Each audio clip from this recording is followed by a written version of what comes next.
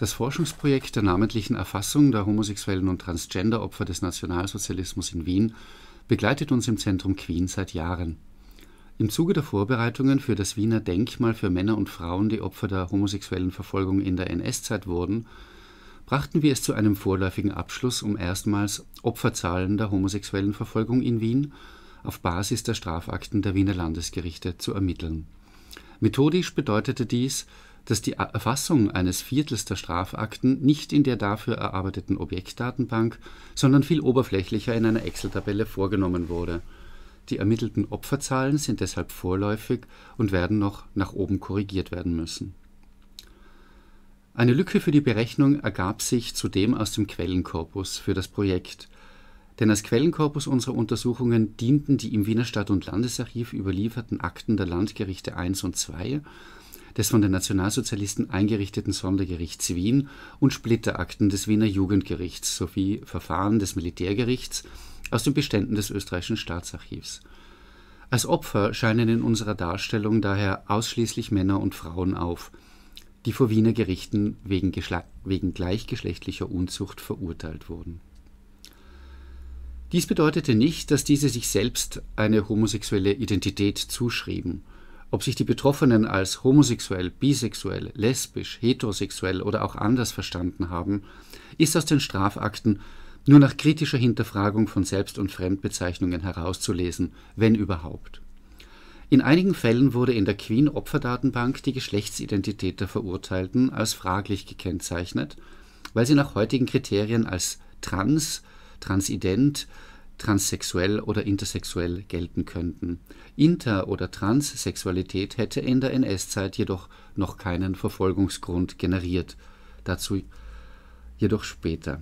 Verfolgt wurden jene als homosexuell, denen der Versuch oder Vollzug gleichgeschlechtlicher sexueller Handlungen nachgewiesen werden konnte bei den Wiener Landesgerichten sind ca. 85 Prozent der Verfahren nach 129 1b aus den Jahren 1938 bis 1945 erhalten, was einer im Vergleich hohen Überlieferungsdichte entspricht. Bislang konnten dadurch 747 Strafakten mit 1168 männlichen und 65 weiblichen Beschuldigten bzw. Verurteilten bearbeitet werden diese Zahlen entsprechen keinesfalls den Opferzahlen der Wiener Homosexuellen. Jene hier erfassten Personen waren lediglich in ein Strafverfahren nach 129 1b involviert. Zunächst möchte ich auf die Grundlagen dieser Verfolgung eingehen. Bis zum sogenannten Anschluss im März 1938 lag die Aufgabe der Ausforschung Homosexueller bei der Wiener Kriminalpolizei. Ihre Ermittlungsmethoden änderten sich jedoch nach dem Anschluss – wurden Fälle widernatürlicher Unzucht früher von Bezirkspolizeikommissariaten behandelt und erst in Folge an die Sittenpolizei abgegeben, so suchten nun die Polizisten der Kripo selbst Treffpunkte von Homosexuellen auf, an denen das Verbrechen der Unzucht wider die Natur beobachtbar und damit zur Anzeige zu bringen war. Die wenigen damit betrauten Polizisten fanden sich demnach in einschlägigen öffentlichen Toiletten ein sowie, leicht bekleidet, in den Herrenabteilungen und Dampfkammern der Wiener öffentlichen Bäder. Die Verhaftung der Männer erfolgte beim Austritt aus der Abteilung des Bades, die beobachtenden Polizisten waren oft die einzigen Zeugen im Prozess. Mit dem Anschluss wurde mit der Gestapo nun auch in Wien eine zweite polizeiliche Instanz gegründet, die im beschlagnahmten Luxushotel Metropol am Mordsinnplatz eingerichtet wurde. Das Referat 2S1 der Gestapo-Leitstelle Wien wurde somit neben dem Referat 2b zur Bekämpfung von Sittlichkeitsverbrechen und Prostitution der Kripo-Leitstelle Wien, also die Sittenpolizei, zur Hauptinstanz der Verfolgung homosexueller Delikte die Arbeits- und Ermittlungsmethoden dieser beiden Polizeiapparate waren durchaus konträr. Die Gestapo, die sich in dem Feld der kriminalistischen Arbeit erst etablieren musste und nicht auf spezialisiertes Personal wie die Kripo zurückgreifen konnte, war, da sie keine Observierungen in der homosexuellen Subkultur durchführte, hauptsächlich auf Hinweise anderer Behörden oder aus der Bevölkerung, also auf Anzeigen oder Denunziationsschreiben, angewiesen um die entsprechenden Ermittlungen starten zu können.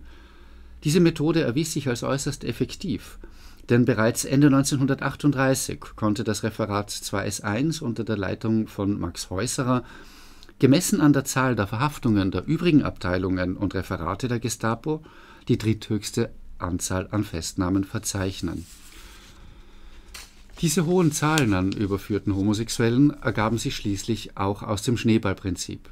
Griff die Gestapo einen Homosexuellen auf, so wurde dessen Wohnung gründlich durchsucht. Briefe, Fotos, Notizbücher, Tagebücher waren die Grundlage für weitere Verhaftungen. Doch vor allem beim oft von Gewalt und Folter geprägten Verhör am Mordsimplatz wurden die Männer gezwungen, andere Homosexuelle zu nennen. Der vertiefenden Erforschung der Arbeitsweise der Gestapo sind leider enge Grenzen gesetzt, da die Gestapo-Leitstelle und alle ihre dort befindlichen Unterlagen bei der Bombardierung Wiens zerstört wurden. Grundsätzlich ist festzuhalten, dass Gestapo und Kripo parallel arbeiteten, wobei die Gestapo ab 1939 im September die Bekämpfung der Homosexualität aufgrund eines Erlasses von Reinhard Heydrich zur Entlastung der geheimen Staatspolizei mit wenigen Ausnahmen der Kripo überließ. Auch Fälle weiblicher Homosexualität gab die Gestapo an die Kripo ab. Beide Polizeiinstanzen übergaben nach Abschluss der Ermittlungen die Beschuldigten der Staatsanwaltschaft, die als Anklagebehörde die Beschuldigten vor Gericht brachte. Das dem zugrunde liegende Verbrechen war im Paragraph 129 1b des österreichischen Strafgesetzes formuliert der Paragraph 129 1b war 1852 schon erlassen worden und blieb in Österreich auch nach dem Anschluss 1938, ja weit darüber hinaus bis 1971 in Kraft. Er verfolgte, ich zitiere, Unzucht wider die Natur, Absatz a mit Tieren, Absatz b mit Personen desselben Geschlechts. Paragraph 130 sah dafür ein Strafmaß von ein bis fünf Jahren schwerem Kerker vor da der § 129 1b geschlechtsneutral formuliert war, wurden in Österreich homosexuelle Handlungen sowohl zwischen Männern als auch zwischen Frauen strafrechtlich verfolgt, was eine Besonderheit unter den europäischen Rechtsordnungen darstellte. Da sich lesbisches Leben aber mehr als schwules im Privaten abspielte, gelangte jedoch viel seltener ein Fall in die Fänge polizeilicher Ermittlungen oder gar an die Öffentlichkeit das Verhältnis zwischen verfolgten Männern und Frauen lag sowohl in der Monarchie bis 1918 der Ersten Republik, im Austrofaschismus zwischen 1934 bis 1938, als auch in der NS-Zeit bei ca. 95 zu 5 Prozent, wobei es in der NS-Zeit zu einem leichten statistischen Anstieg bei der Verfolgung weiblicher Homosexualität kam. Der Großteil der Verfahren wurde am Wiener Landesgericht I durchgeführt, 206 Fälle am Wiener Landesgericht II, 22 vor einem Sondergericht weitere 22 vor einem in Wien stationierten Militärgericht. Von 1937 auf 1938 hatte sich die Zahl an den Landesgerichten verdoppelt, auf 1939 vervierfachte sich die Zahl der beschuldigten Homosexuellen. Aufgrund weitreichender Milderungsrechte der österreichischen Richter war es vor der NS-Zeit so gut wie nie zur Verhängung der drakonischen Mindeststrafe von einem Jahr gekommen. So waren im Fall einer Erstverurteilung und ohne erschwerende Gründe Urteile mit einem Strafmaß von drei Wochen bis zu wenigen Monaten schweren Kerker möglich, während nach dem Anschluss die verhängten Kerkerstrafen für Unzucht wider die Natur sich verdoppelten bis verdreifachten. Weitaus der Großteil der Verurteilten entstammte aus der Unter- bzw. der unteren Mittelschicht, lediglich Einzelne verfügen über Vermögen oder einen akademischen Abschluss. Es findet sich unter den Beschuldigten der Wiener Gerichte auch kaum eine prominente Persönlichkeit. Die Sondergerichte standen außerhalb der ordentlichen Gerichtsbarkeit. Ihre Verfahren schränkten die Verteidigungsrechte der Angeklagten massiv ein und ließen keinen Instanzenweg zu. Sie waren überhaupt dazu geschaffen worden, um schnelle Verfahren mit einer gnadenlosen Spruchpraxis und oft der Todesstrafe zu verbinden. Nach der Zitat Verordnung gegen Volksschädlinge vom 5. September 1939 Zitat Ende konnte jedes Verbrechen mit der Todesstrafe geahndet werden, wenn, wie es hieß, das gesunde Volksempfinden wegen der besonderen Verwerflichkeit der Straftat es erfordert.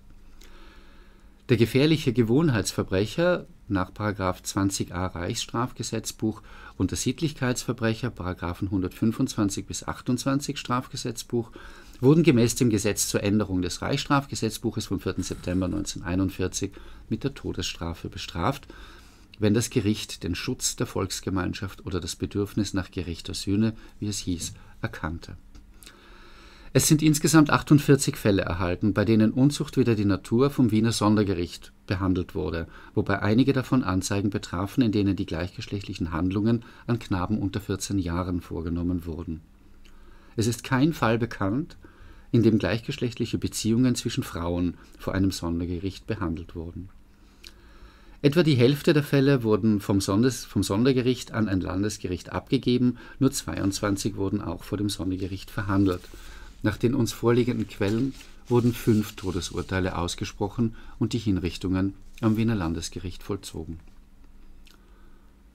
Auch nach der Verbüßung von regulären Haftstrafen konnten von Beamten der Gestapo oder Kriminalpolizei-Leitstelle ohne Zuziehung von Gerichten Vorbeugemaßnahmen angeordnet werden. Die Landesgerichte wurden dabei angewiesen, die verurteilten Männer nach der Haft nicht auf freien Fuß zu setzen, sondern an die Gestapo oder Kripo rückzuüberstellen. Diese Rücküberstellung konnte, musste aber nicht zu einer Einweisung in ein Konzentrationslager führen. Es ist für Wien kein Rücküberstellungsbescheid für Frauen bekannt, die wegen homosexueller Handlungen nach 129 1b verurteilt worden waren, der die Einweisung in ein KZ bedeutet hätte. Eine Einweisung in ein Konzentrationslager erfolgte auf unbestimmte Zeit. In den meisten Konzentrationslagern mussten wegen gleichgeschlechtlicher Handlungen verurteilte Männer auf der Brust der Häftlingskleidung und am Ärmel einen rosa Winkel tragen, der manchmal noch mit der Zahl 175 nach dem deutschen Strafrechtsparagraf ergänzt wurde.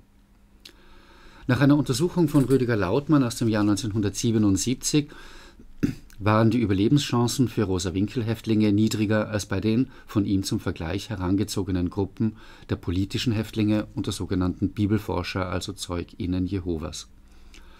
Nach Lautmann lag die Todesrate der homosexuellen Häftlinge im Durchschnitt bei 60 Prozent, die der politischen bei 41 und die der ZeugInnen Jehovas bei 31 Prozent. Die Rosa-Winkel-Häftlinge waren zwar fast ausschließlich deutsche Reichsbürger und damit Arier nach den Nürnberger Gesetzen, doch hatten sie oft seitens der Wachmannschaften besondere Brutalität und vor allem auch seitens der Mithäftlinge keinerlei Solidarität zu erwarten. Aus unseren Untersuchungen zu Wien ist zudem feststellbar, die wenigen nach 129 1b beschuldigten Männer, die nach den Nürnberger Gesetzen als Juden definiert worden waren, wurden nach 129 1b verurteilt und saßen ihre Strafe in einem Gefängnis ab bei den wenigen so gearteten Fällen in Wien ist keine besondere Härte des Gerichts oder eine besondere Maßnahme feststellbar. Die rassische Verfolgung geschah unabhängig von der Strafverfolgung. Nach Verbüßung der Haft konnten Vorbeugemaßnahmen verhängt werden mittels des Rücküberstellungsantrags oder des Schutzhaftbefehls. Diese Rücküberstellung der Verurteilten nach Verbüßung der Haftstrafe in das Polizeigefangenenhaus Rossauer Lände zur weiteren Verfügung der Gestapo äh, oder Kripo lässt keine eindeutigen Entscheidungsgrundlagen erkennen. Die Ausstellung eines Rücküberstellungsantrages erfolgte in allen belegbaren Fällen schon vor Abschluss des Verfahrens und ohne Beteiligung des Gerichts. Die Anordnung zur Rückstellung eines Haftentlassenen bedeutete dabei nicht zwangsläufig die Einweisung in ein Konzentrationslager. So übertrifft die Zahl der Rücküberstellungsanträge jene der bisher in Konzentrationslagern ermittelten, wegen 129 1b verurteilten Männer in Wien, bei Weitem nicht einmal ein Viertel der Rückstell Rückstellungsanträge seitens Kripo und Gestapo führten nach jetzigem Forschungsstand tatsächlich zur KZ-Einweisung. In vielen Fällen wurden die Haftentlassenen lediglich unter Schutzaufsicht gestellt. Nach derzeitigem Forschungsstand konnten 85 Männer aus Wien ermittelt werden, die in ein Konzentrationslager eingewiesen wurden, von denen 30 die KZ-Haft überlebten. Im Vergleich zu Lautmanns Untersuchung, die eine durchschnittliche Todesrate für homosexuelle Häftlinge in Konzentrationslagern mit 60 Prozent errechnet hat, ergibt sich mit der hier für Wien vorliegenden Todesrate von 72 Prozent also eine leichte Überquantifizierung. Ein Mann wurde wegen Homosexualität als Gewohnheitsverbrecher am Wiener Landesgericht hingerichtet. Vier starben in Haft oder an den Haftfolgen. Von sechs Personen, deren Verfahren die Einweisung in ein KZ nicht unplausibel sein lässt, verliert sich die Spur. Mindestens zwei Männer nahmen sich nach ihrer Verhaftung oder den Verhören bei der Gestapo das Leben.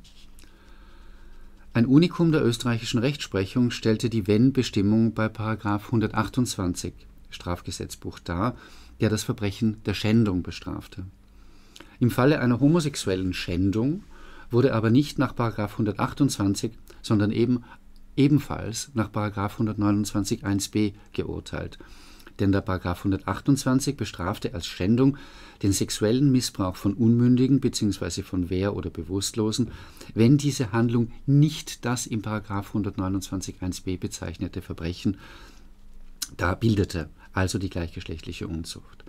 Diese Besonderheit des österreichischen Strafrechtes bedingte, dass eine Anzahl an Männern nach 129 1b verurteilt wurden, obwohl sie eigentlich des Verbrechens der Schändung nach, 100 8, nach 128 schuldig gewesen wären.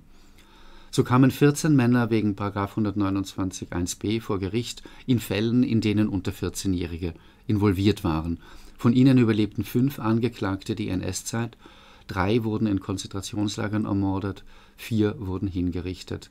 Einer starb an den Haftfolgen, von einem verliert sich die Spur bis zu seinem Todesdatum 1943. Nach der Befreiung Österreichs 1945 wurden die mit dem Vorwurf der Homosexualität verfolgten Menschen nicht als Opfer des Nationalsozialismus anerkannt, sondern weiter strafverfolgt.